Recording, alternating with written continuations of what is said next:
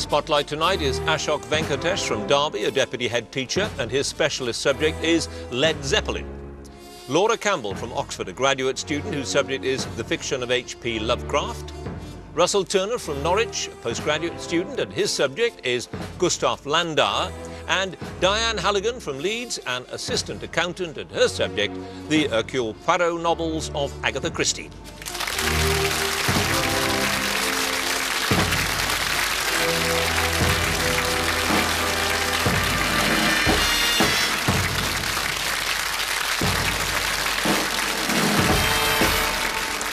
Hello and welcome to Mastermind with me, John Humphrys. It's the second round stage, which means that tonight's four contenders are battling it out for a place in our grand final. It also means that sat amongst them could well be the next Mastermind. They're that close.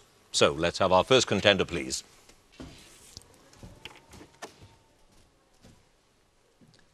And your name is, Ashok Venkatesh, your occupation, Deputy Head Teacher, and your chosen subject. Led Zeppelin. Led Zeppelin in two minutes. What was the name of the drummer who's credited with giving the band their name after he said that they would probably go down like a Led Zeppelin? Uh, Keith Moon. Yes, what was the title of the first Led Zeppelin album to be released on the band's own label, Swan Song? Uh, physical Graffiti. Correct. Two drummers took the late John Bonham's place when the band played at Live Aid. One was Tony Thompson. Who was the other? Phil Collins. Yes. What was the name of the Atlantic Records producer and executive vice president who played a major part in negotiating Led Zeppelin's global recording contract along with their manager, Peter Grant? Uh. Jerry Wexler. In 1972, the band were refused permission to enter Singapore. For what reason? Hair was too long. Yes, in the summer of 1968, Jimmy Page and Peter Grant invited Robert Plant to join the band that was to become Led Zeppelin after seeing him performing with which group at a teacher training college in the Birmingham area? Hobbs Tweedle. Yes, which traditional folk ballad popularised by Lead Belly and adapted by Page and Plant includes the lyric, Sister, I implore you, take him by the hand, take him to some shady bower, save me from the wrath of this man. Gallows Pole. Correct. What was the title of Led Zeppelin's in concert feature film, which had its official premiere in New York in 1976? The song remains the same. Correct. Which female folk singer duets with Plant on the track The Battle of Evermore on Led Zeppelin 4? Sandy Denny. Correct. In October 68, at which venue did the band make their first live appearance after changing their name from The New Yardbirds? Surrey University. Yes, as well as the band members, who else features on the songwriting credits for the track When the Levee Breaks, having written and recorded it with her husband, Kansas Joe McCoy, in the 20s? Pass. Led Zeppelin broke their own record for the highest attendance at a single act concert when they played at which venue in 1977? Uh, Pontiac Silverdome. Correct. What's the real surname of the band's bassist, John Paul Jones? Baldwin. Yes, along with J.B. Lenoir, which legendary blues artist wrote the song You Shook Me that features on Led Zeppelin's first album released in 69? Um, Willie Dixon. Yes, in which city was the band's seventh album Presence recorded before being released in 76? Munich. Yes, which song is the opening track on the album Led Zeppelin 3 and includes the line Valhalla, I am coming? The Immigrant Song. Yes, for which instrumental track on the Coda album does John Bonham, I've started so I'll finish, have the sole songwriting credit?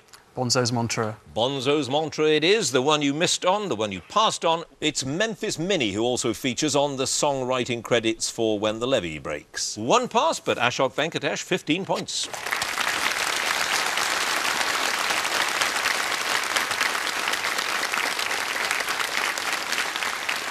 And finally, Ashok Venkatesh, please. Led Zeppelin, who were by any standards a very, very, very popular band.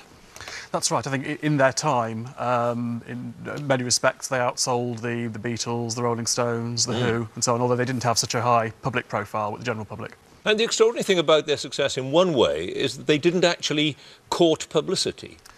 No, um, as I said, they compared very well in terms of their record sales to the Beatles, and the Rolling Stones, and so on, but they had a much lower public profile. Partly that was a deliberate ploy, if you like, by, by the band and their management to maintain a certain air of mystery.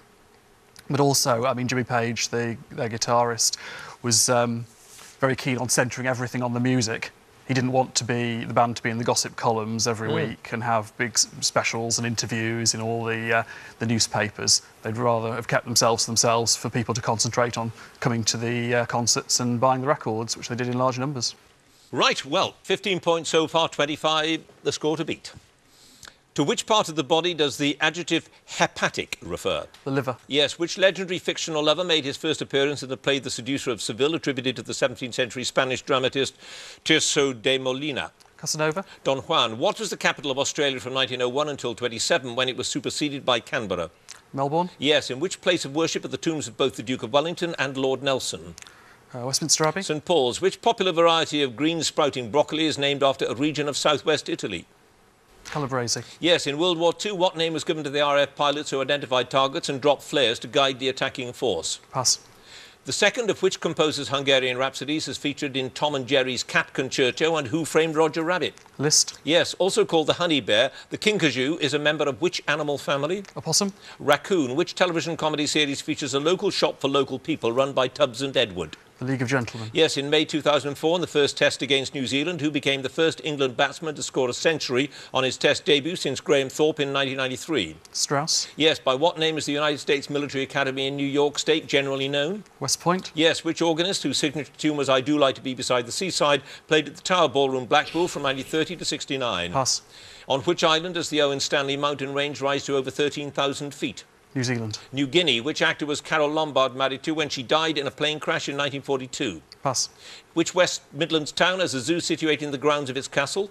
Dudley. Yes, which great artist and scientists' written works, which include the Codex Atlanticus, contain a variety of designs of flying machines and other modern-looking devices? Leonardo. Yes, and isohel is a line on a map joining points of equal amounts of what? Sunshine. Yes, which politician became the MP for Dulwich and West Norwood in 1992?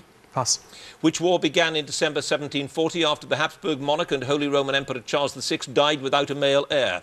Uh, Hundred Years' War. War of the Austrian Succession. In the context of the internet, what does the abbreviation HTML stand for? Hypertext Markup Language. Yes, what name derived from a mythical Greek king? I'll finish the question. Did Anders Ekeberg give to the silvery grey metallic element he discovered in 1802 because of the difficulty he had in dissolving its oxide in acids?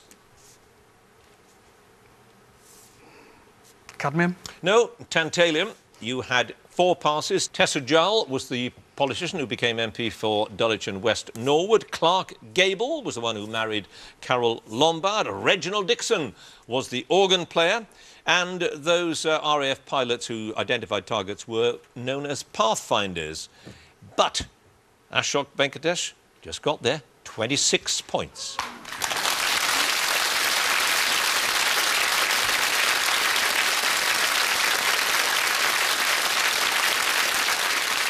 Oh, nail-biting stuff there. So let's have a look at the scores. In fourth place with 21 points, Diane Halligan. Third place with 24 points, Laura Campbell.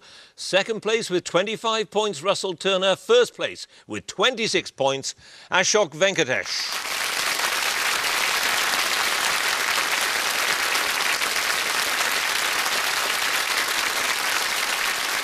So we shall be seeing him again when he takes his place in our grand final. Congratulations. Do join us next time for more masterminds and, of course, the grand final. Thank you for watching. Goodbye.